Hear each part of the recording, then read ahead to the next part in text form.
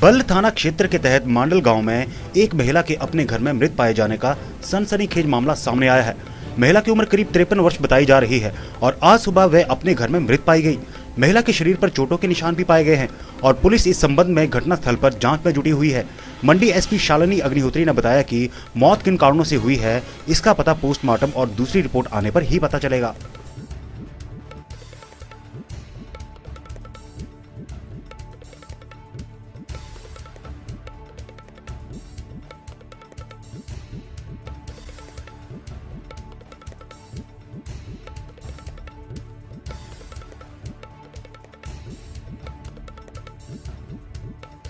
हाँ जी। मैडम क्या है आज यहाँ पे? अ, ये यहाँ पे आज सुबह पुलिस स्टेशन में एक रिपोर्ट आई थी हमारे पास जानकारी कि एक महिला जो है वो अपने घर में मृत पाई गई है। तो उस पर एस एच ओ बल अपनी टीम के साथ और डीएसपी साहब मैं हम सब यहाँ आए और मौके का निरीक्षण किया गया।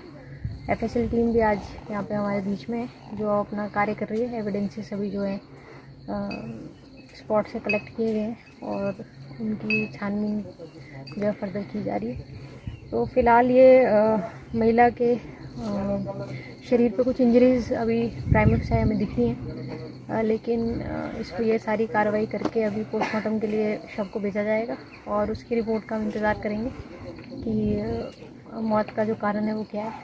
और दूसरा एफएसएल जो आज टीम आई है उन्होंने सैंपल्स कलेक्ट किया उसकी भी रिपोर्ट का हम वेट करेंगे और फर्दर उसमें कार्रवाई अमल में लाएँगे पुलिस स्टेशन बल में ये मामला जो है दर्ज हो रहा है और इसमें कार्रवाई अभी टीम जो है स्पॉट की तो इसमें किसी को हिरासत वगैरह में लिया है अभी? जी अभी जो जो जानकारी के हिसाब से कल रात को जो मृतिका है उसके पति के साथ उसका झगड़ा हुआ है तो जो पति है उसको डिटेन किया गया है। और बाकी लोगों से आसपास के जो पड़ोस के लोग हैं गाँव के लोग हैं उनसे पूछताछ जारी है। तो पूछताछ के हिसाब से जो भी शक के दायरे में आएँगे उनसे पूछताछ की जाएगी।